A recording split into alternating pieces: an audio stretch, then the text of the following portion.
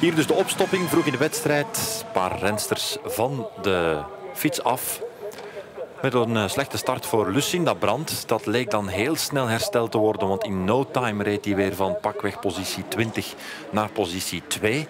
Betsema die had het goed bekeken. Die zei ik ga niet wachten op Brandt. Nu ik ze onder druk kan zetten ga ik het niet laten. Dat deed ze dan ook. Brand moest voorbij Worst. Dat ging dan op deze trappensectie. Laten we zeggen eh, het beeld van deze Universities Cross. Dit is een beetje, laten we zeggen, het meest kenmerkende punt van deze cross, van dit parcours. En hier kwam ze dus uh, eraan. Ze kwam onder stoom en ze had nog heel veel tijd om alles goed te maken tot deze strook. Hier gaan we het zien. Wat gebeurt er? Het schuift weg vooraan en dan ook achteraan en dan de knie. Gelukkig komt ze daar niet op een tandwiel terecht met die knie. Zonder veel erg, maar wel veel tijdschade. En dat uh, liep dan op naar 20 seconden. En eigenlijk is dat een hele wedstrijd lang zo gebleven. Ze heeft uh, lang geprobeerd om de bakens te verzetten.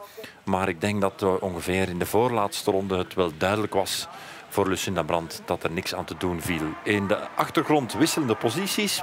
Onder meer door wat problemen bij Bakstedt. Ook Worst die een paar keer ten gronde ging. En daardoor terugviel. Bakker kwam daardoor op het podium terecht. Voilà, dit was zo'n moment. En dan nog eens de dubbele val, zeg maar. Naar het einde toe werd er eh, meer en meer naar boven gereden.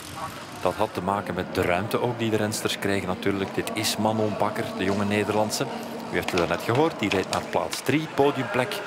Maar Betsema, kijk eens, vlotjes, twee wielen van de grond. En dan handen in de lucht. Het is haar gegund, het was lang geleden, vele maanden met andere woorden. En deze vrouw gaat dus met een heel goed seizoen straks de rust ingaan